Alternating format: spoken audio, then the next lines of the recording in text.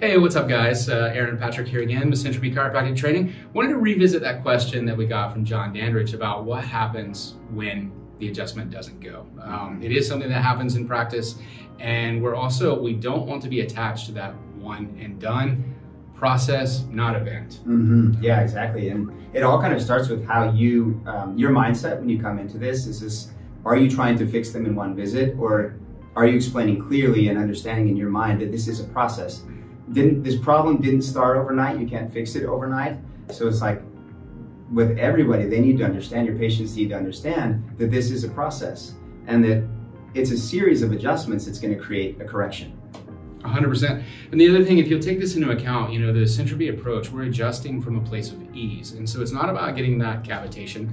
It's not about getting anything to go. It's about bringing their nervous system into greater ease. And when you're doing this from that dropped in place with no tension, um, it is facilitating their nervous system moving into greater and greater ease. A lot of times, I mean, we're, we have the great fortune of practicing in Europe, and so we get to see a lot of people who've never ever been to a chiropractor before. And what you'll notice is that their nervous system evolves very, very quickly.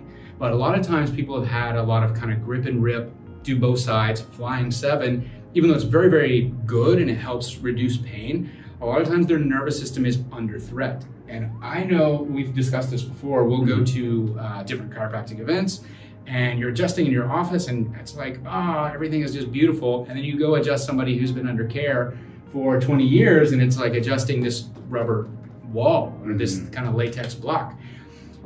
And I know this shows up for me. I don't know about for you, but I immediately think, okay, do I get into my ego and do I make it move so they know that I'm a good adjuster? Or do I go, no, that's what they needed at that moment. Me putting any more force in is not actually moving their system into ease. So if I make it about me and try and get that movement and that crack, it's not actually doing what their nervous system needs. So you let it go, you know that was good for today. Yeah, and if you've stuck around this long for the video to the final, the very end here, one of our good mentors, Ron Oberstein, great guy, he, he told us when I was coaching with him, he was my coach, and he said, that's why we got you on a program. So it's like, boom, you adjust them, didn't quite go as you wanted to, it's like, Patrick, that's awesome you. That's a great adjustment. That's why we got you on a program. Awesome. You know, so um, I hope this helps you guys. This is, it's, for us, we've been doing this for a while now, and owning that brings freedom to yourself. So we hope you enjoyed it. We'll see you in the next video. See you soon.